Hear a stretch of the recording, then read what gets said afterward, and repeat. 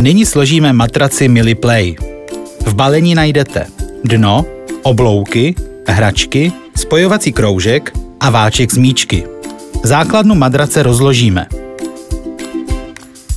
Nejdříve připevníme oblouky. Na spodní straně madrace najdete čtyři smyčky. Přesně zde.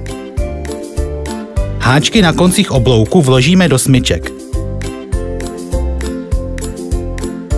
Přesně tímto způsobem. Nyní k sobě plastovým kroužkem spojíme oba oblouky. Dále připevníme hračky. Zavěsíme je na smyčkách pomocí suchých zipů. Před upevněním zrcátka nezapomeneme odstranit folii. Hračky možné zavěsit v libovolné sestavě. Chceme-li, aby vybrané hračky byly co nejblíže dítěte, můžeme posouváním kroužku na obloucích snadno měnit jejich polohu. To se hodí rovněž ve chvíli, když už je dítě trochu větší.